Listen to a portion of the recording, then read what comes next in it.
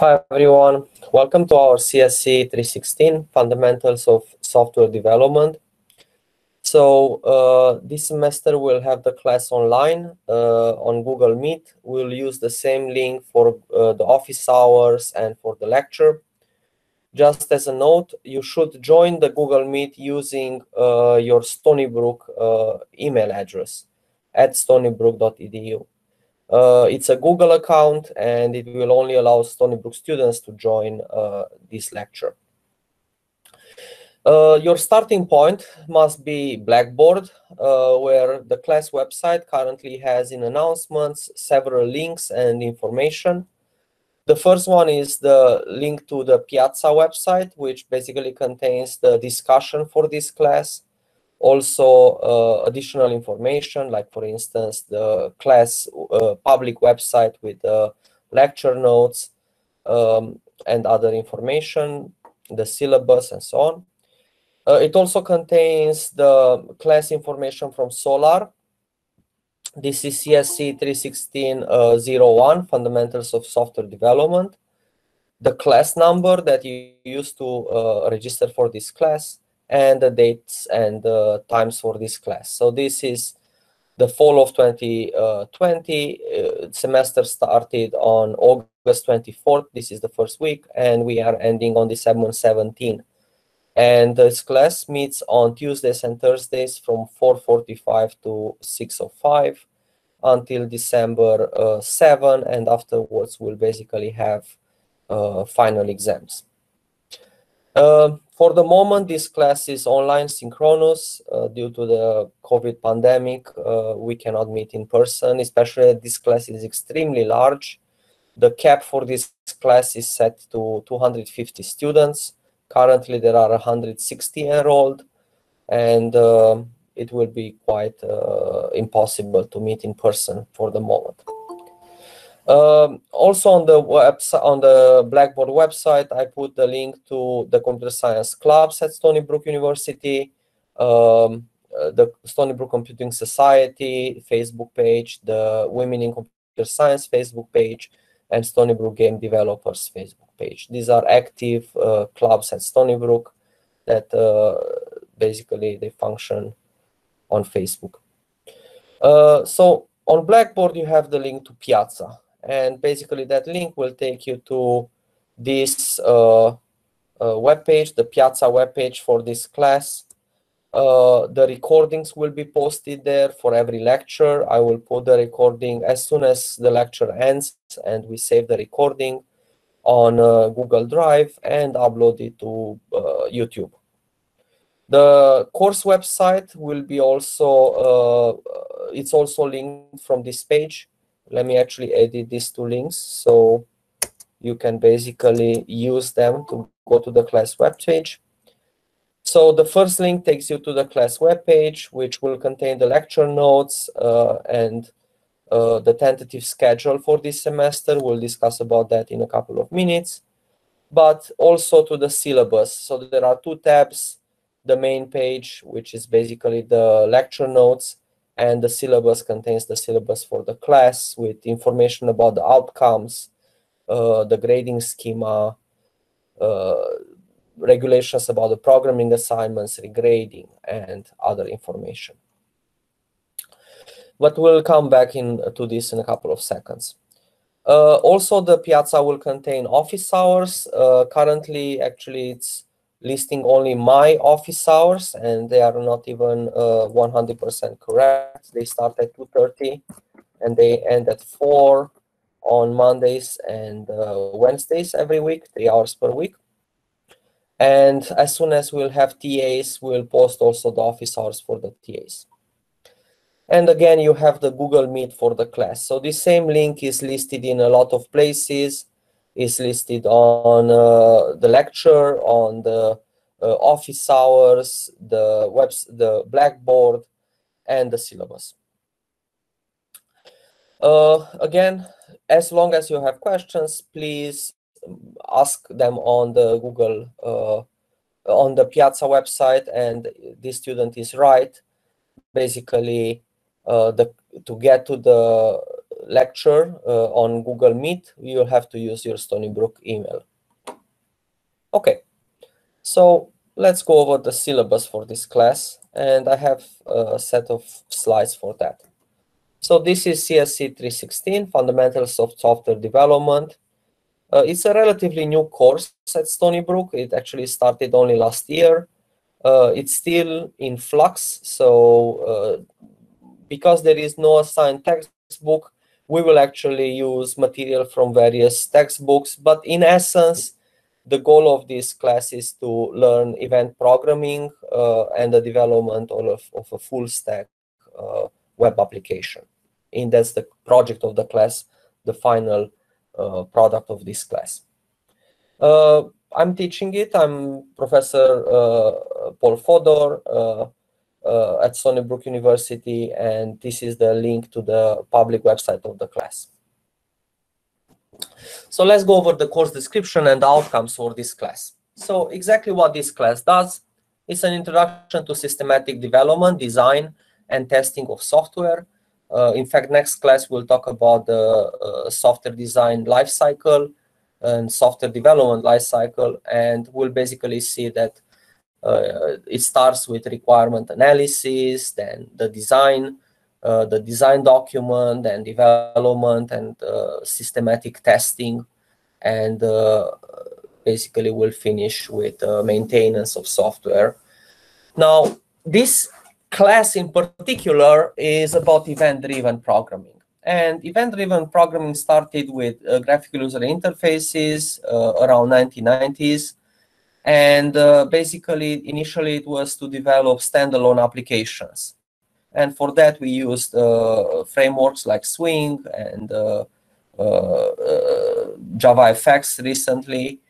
But now almost everything moved to the web. So we'll discuss about web programming and the frameworks available for web programming. Um, there are multiple frameworks starting with uh, Java Enterprise Edition and basically ending with uh, Python, uh, Flask, and Node.js. I programmed in all of these technologies, and basically they all share the same common set of features, but basically a different programming language. So we'll do web development in this uh, class. We'll start from basics. We'll learn uh, HTML, JavaScript, and then server-side scripting. Uh, we'll also cover information management. So uh, just the important part of database uh, systems that is basically uh, most important for us to develop a web application. Uh, basically, we'll use a very simple database with uh, basically information about users. And then we'll talk a little bit about principles and practices of secure computing. We'll actually develop signing feature for our website. Then we'll talk about software design and development fundamentals. We'll get into design patterns and application of all of these skills to the construction of large, robust software. And as part of this class, you will design and implement a secure full stack distributed web application. So this class is a mandatory class at Stony Brook on developing a web application. We'll learn everything that we can during one semester on uh, web applications. Uh, this description is on the public website for the bulletin. So actually this link is to the computer science website, which has this description. And the prerequisites for this class uh, are a C or higher in CSE 216. So basically you finish the 200 level programming class or CSE 260 for honor students and acceptance to the CSE major. This class is three credits. The course outcomes for this uh, class, uh, agreed by all the faculty that teach this class, are an ability to use event-driven and reactive programming for the construction of web software. So basically, event-driven programming for web uh, software. An understanding of information management systems and querying databases, so we'll talk about the basics of databases and querying. Uh, in this class, we'll use uh, SQL databases, which are basically the most popular databases if you look at any ranking uh, non-SQL databases come after basically place five or six MongoDB and afterwards a big gap until Cassandra. So we'll use an SQL database, a very simple database to uh, basically to show you how to store data, uh, data how to create joins, and uh, how to use it in a web page, uh, basically uh, through a programming language. And finally, we'll talk about uh, the current design and development principles to systematically build and test large programs. So we'll talk about testing, about uh, developing a design document, and about uh, basically maintenance of software. So the major topics covered in this class are event-driven programming, including the use of uh, front-end web frameworks. So we'll talk about basically starting from JavaScript uh, and HTML, CSS. Then uh, we'll talk about information management, including database transactions, CRUD operations, and transactions. We'll talk about the ACID uh, properties, atomicity. Uh, we'll talk about software design principles, techniques, and patterns. We'll not get into details of software engineering. There is another class for that. CSE 416 at Stony Brook. Uh, we'll have a class on uh, continuous integration and continuous development, and we'll discuss about fundamentals of secure distributed computing. So we'll have a little bit of introduction to uh, security also. Now, the textbooks are really optional for this class. I actually selected these textbooks because various lectures that I want to cover are from these textbooks. Now, this class, as I said, is an extremely new class. It started last year. It was modified once between, actually last fall, uh, Professor McKenna used uh, Redux. Uh, it's such a new technology that by spring it was all, already obsolete. And basically, the, the updates in this area are quite fast. So instead of focusing on basically new untested software that disappears as fast as they, it appears, uh, we'll basically focus on standard, uh, tested, uh, old-fashioned software engineering. So basically, the textbooks that are listed here are basic textbooks in this area. Software Engineering by Ian Sommerville, uh, Heads First, Object-Oriented Analysis and Design, uh, and uh, uh, heads first design patterns. And of course, we have the fun part, which is to develop a web application. Now, my information is that uh, I'm in the new computer science building room 214. Unfortunately, I don't think that we will meet this semester due to the ongoing pandemic. I'm actually teaching from my office, but uh, of course, we cannot meet in person that's why everything is online, office hours, uh, lecture, and everything else. The office hours, in my case, are Mondays and Wednesdays uh, from 2.30 to 4 on Google Meet. Uh, we are actually going to use the same link for Google Meet as the lecture, and also uh, the TAs will use the same link once uh, they have office hours. So for this class, you only need one link. That link will get give you access to office hours, lectures, everything, uh, grading appointments, and so on. Uh, the phone number is 631-629820. This is my office phone number. It's right behind me. Uh, I will basically respond outside the lecture uh, and when I'm here, in fact. Uh, my email is paul.fodor at stonybrook.edu. Please include CSE 316 in the email subject. I'm teaching other classes, two other classes except this one, the Honors Computer Science 2 and a graduate seminar on programming languages. So be explicit, what's the question? For communication in this class, we are going to use Piazza. So you are also free to post private messages in Piazza. I set it up in such a way that you can basically post a private message or you can ask a general question in Piazza. Blackboard will be used for submitting assignments, uh, seeing your own grades due to FERPA regulations, uh, the Federal Privacy Education Privacy Act uh, you can only see your own grades and basically we'll talk about grading schema a little bit later. So since you are here, uh, you already know that the lectures are on Tuesdays and Thursdays from 4.45 to 6.05 p.m. on Google Meet. This is the link. And uh, we are basically, uh, this link is, this Google Meet is created with Stony Brook uh, calendar so it only lets uh, people with uh, at stonybrook.edu email address to uh, see the lecture. However, the lectures will be recorded and I'm going to post them on YouTube afterwards.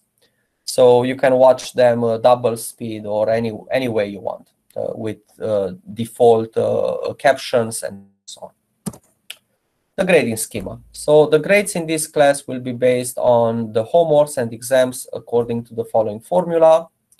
The homework assignments will be 25% of the grade. This is a heavy homework uh, course. Quizzes, there will be in-class quizzes, which I will basically post. Actually, the way that it works is that I, I will post uh, the quiz. Quizzes are basically uh, Google Forms where you submit the answer. And I will post these quizzes on Piazza before the class and I will collect the uh, answers at the end of the day of the class. So even if you cannot watch the lecture, you can watch it afterwards and respond to these quizzes. They are 5% of the grade, total grade. The project is also 25% of the grade, and then there will be three, meet, uh, three exams, uh, two midterms and one final, each 15% of the grade. So basically, as you can see, 55% of the grade comes with uh, from homework assignments and quizzes. In fact, 50% of the grade comes from homework assignments. There will be three assign uh, three examinations in this class. Midterm one is on October 1st during class time, uh, 120 minutes uh, with lockdown browser and monitoring.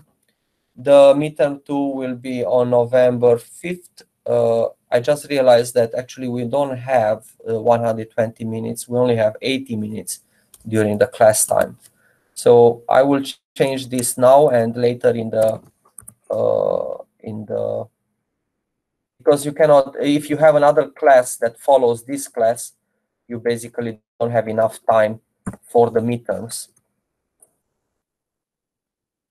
In any case, so each midterm is 80 minutes, the length of the class, and uh, they are on October 1st and November 5th.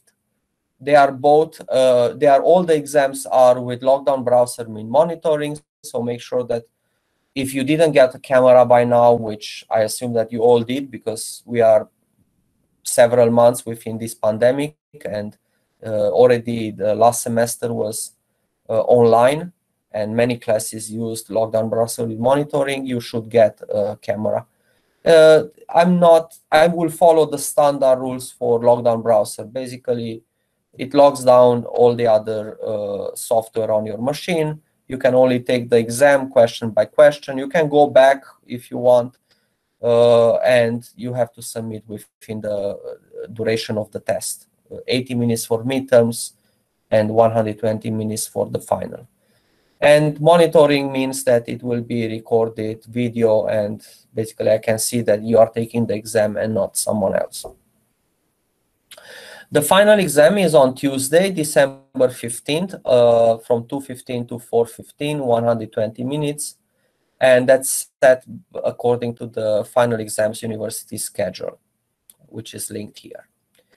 Now, for the moment, the pass no credit option is not available for this course. Uh, this is a policy that applies to all of the CSE undergraduate courses used to satisfy the graduation requirements for the major. However, uh, this might change due to the pandemic and the registrar does the these uh, changes. Uh, last semester, because the pandemic hit us in the middle of the semester, everybody basically was caught uh, off guard. Uh, we basically allowed, uh, not us, but registrar, the administration allowed the pass no credit option. However, this semester, this um, is not by default available at this point because we all know our situation and uh, our capabilities of how many classes we can take and uh, so on. So for the moment, up to what I know, the PNC option is not available, but please watch emails from registrar if this becomes available later. Uh, the grading for this class is basically the best of two worlds. And what I mean by that is the following. First, there are minimum cutoffs that guarantee that a grade uh, is given uh, higher or equal with the grade. So if you get a 95, for instance, or between 95 and 100, you're guaranteed that you get an A. If you get 90 to 95, you are guaranteed that you get an A minus or higher. If you get uh, uh, 87 to 90, you are guaranteed that you get a B plus or higher, and so on. Basically, the Bs are within the 80s. A B plus is 87 to 90, B is 83 to 87, and B minus is 80 to 83. The Cs are ranked in the same way for between 70s. The Ds are ranked uh, between 60 and 70. And finally, anything below 60 is an F. However, there is a special rule that applies that if all your grades, including the homework assignments, quizzes, recitations, and your three exam grades are above the class average, you are guaranteed to receive a C or higher for this class. What this basically means is that if the average of the class is below 73, the minimum for a C, I will basically lower all the grades uh, cutoffs with the number of points between 73 and that average of the class. So for instance, if the average of the class is 70, then a 70 will guarantee that you get a C. And then all of the rest of the cutoffs will basically decrease with three points. So a 74 will guarantee that you get a C plus, uh, 77 will be enough for a B minus and so on. So basically it's kind of the best of uh, both worlds. The fixed cutoffs guarantee that you get at least that grade uh, that is the uh, where the cutoff falls. And the special rule says that it is basically a C curve that the average of the class is guaranteed to get a C at least. There will also be extra credit problems as part of the quizzes and homework assignments. However, the value of that extra credit is uh, uh, less than 4% of the final grade. So basically, the extra credit is at most one letter grade, okay? Because you can see the cutoffs are basically around three, four points. So uh, usually I give the extra credit towards the end of the semester uh, if you you see based on the how you earned your grades uh, based on the grading schema that for instance your grade is a B minus then you would want to do the extra credit if you want to get a B uh, to increase one letter grade. If your grade is a D, uh, it's highly unlikely that even if you do extra credit, you can gain enough points to uh, make a, a, a C, for instance, is two letter grades distance. There will be also in-class quizzes. As I said, they are really the day quiz. I will post it before the class. I will collect it at the end of the day. Now, one thing that I always say when I basically teach any class is that the final grade that you receive in this class will reflect as far as possible the extent to which you have mastered the concepts and their application. And how much one needs a grade uh, or how close they are to the next letter uh, uh, grade uh, that basically I set the cutoffs after the final grades are uh, uh, basically final will have no effect on the grade. As the instructor of the class, I want everyone to do well in this class and I will make every reasonable effort to help you understand the material taught. Uh, however, the grades provided at the end of the semester are final, except uh, very rare uh, situations involving uh, grading errors. So this is just a note to tell you that after I do the grading and there are no grading errors in your uh, final uh, project and exam, there are no reason to alter the grade So please don't ask me to do so or get extra credit that is not available to your colleagues. So this always, uh, this is the policy of the university, in fact, and I follow it to the letter, always in all my classes. Now, there will be homework assignments due on fixed dates and times. Uh, we'll start with simple homework assignments to develop, to basically uh, write HTML and JavaScript uh, programs. There are no late submissions permitted. All assignments must be submitted through Blackboard by the deadline. If you miss the deadline, uh, it's basically, I usually put a buffer after the deadline of uh, a few minutes, but really shouldn't you shouldn't send me the the homework by email after the deadline because you you didn't do it by the deadline. And that applies to my TAs too. Don't send the homework once you the deadline has passed. Regrading of homework and exams. Now, because I'm teaching about four, or five times the number of students that I normally teach in, in a semester, and this is online, is extremely hard to manage so many students, around 250 students. So uh, please meet with us within one week uh, from the day that I announce the grades are posted on uh, Piazza. And uh, if you don't basically contact us, we have office hours twice, each one of us during the following week after the dates the grades are announced.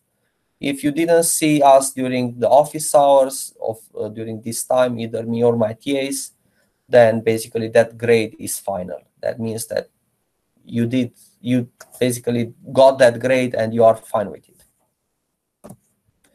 So tomorrow, actually in two days, we'll talk about software development lifecycle. So we'll talk about the requirement analysis, the waterfall model, agile methodologies.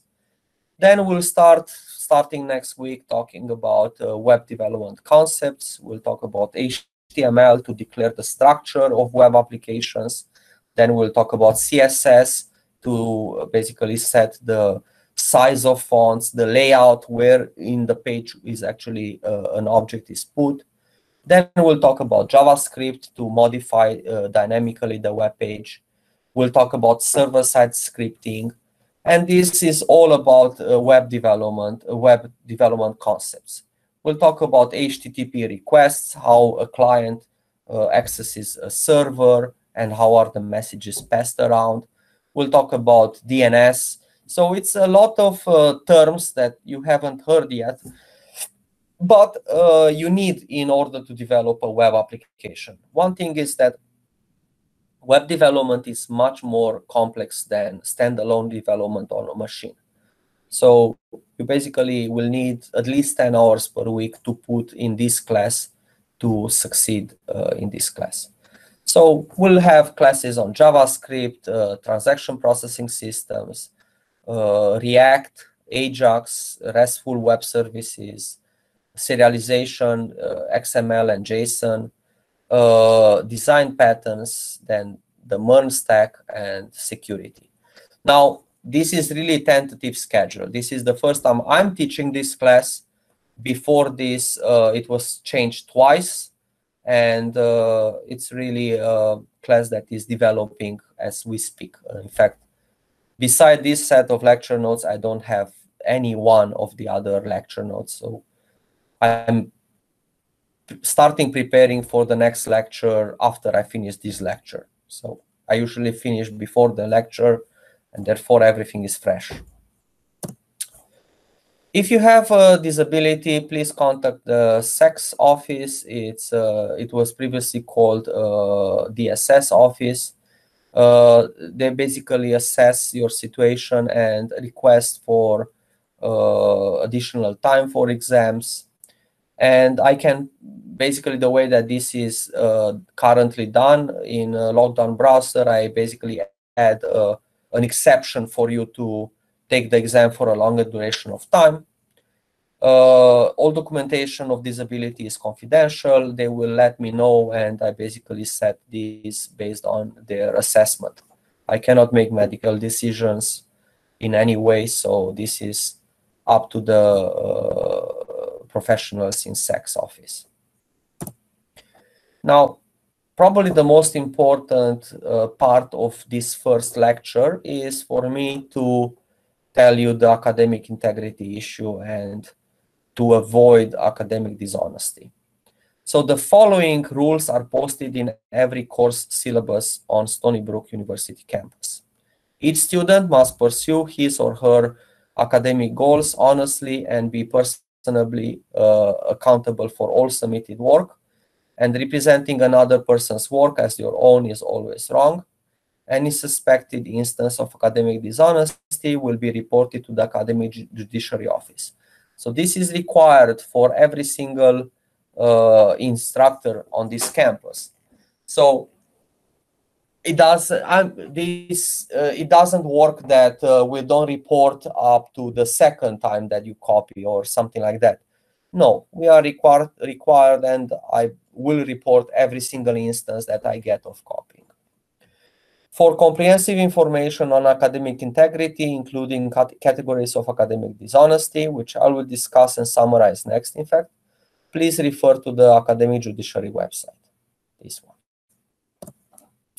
So what exactly can you do on Piazza? You can discuss general assignment concepts with other students. You explain how to use tools, systems. Uh, you can help others with high-level design issues. You can ask uh, details about the assignment. Uh, you can clarify these details. Uh, I'm not a perfect person. I basically will make sometimes typos or some kind of mistakes in uh, requirements, and then these need to be clarified. However, you may not share assignments, source code, or other assign uh, answers by copying, retyping, looking at, or supplying a file. And assignments are subject to manual and automatic similarity checking. And we do check. I'm personally using MOSS from Stanford that basically uh, is even better than I am at manual checking. What it basically does, it compares all of the homeworks and uh, even if you change names of variables or of methods, uh, move methods around, it actually still uh, uh, it's better than what you think.